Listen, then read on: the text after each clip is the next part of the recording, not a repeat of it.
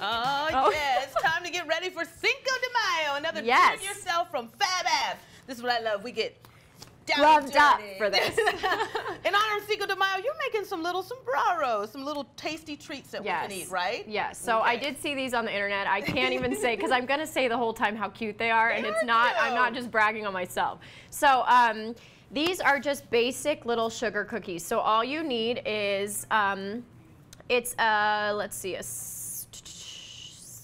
16.5 ounce. There we go. 10 minutes later. 16.5 ounce thing of regular cookie dough, sugar.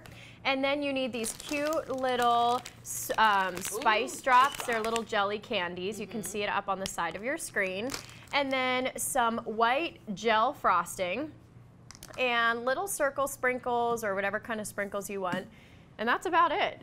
So you bake the cookies. All you do is you roll them into a little ball, about a teaspoon size ball. Okay. And you place uh, about 16 of them on a baking sheet. Okay. Put it in the oven for um, 12 to 16 minutes, depending on your oven. And then you take them out and you let them sit for one minute. And this is important because it's easy to get distracted. You let them sit for one minute. Take the bottom of a shot glass because it's small enough. Mm -hmm. And mm-hmm. that's where you make this cute little indent in the cookie. Okay. So then it'll look like a little hat, a little sombrero. Once you do that, you let it cool completely. Mm -hmm. And then you're gonna take your frosting Ooh. and you're gonna put a dollop there. Nice. And you're gonna take one of your little candies. Press could, could it this down. if you didn't want to use sugar cookies, like peanut butter cookies or any kind of oh, cookies? Oh, for okay. sure, yeah. And then you're going to take your little circle sprinkles and where, this does make a mess, but this is where kids will have a lot of fun uh -huh. too. Uh-huh. And you just fill this little sombrero with the sprinkles. Ooh. You roll it oh. around, tap it off, and then there you have that cute little rim around the candy for I the like sombrero that. top or middle. And then if you'd like, I'm gonna do a line around here.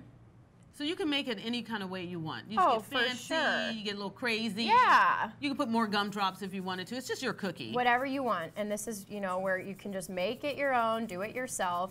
Um, and we're going to have sprinkles in the studio. Brian's going to be so excited. the cleanup crew.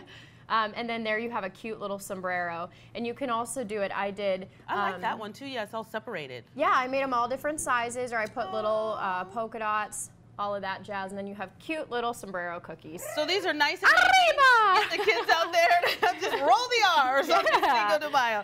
Get exactly. the kids involved, some sprinkles. Who doesn't love sprinkles? It's a real easy treat, and it's a great way to have some fun. All right, don't go anywhere. All of this will be on our website, aztv.com. We have more coming up on Arizona Daily Mix.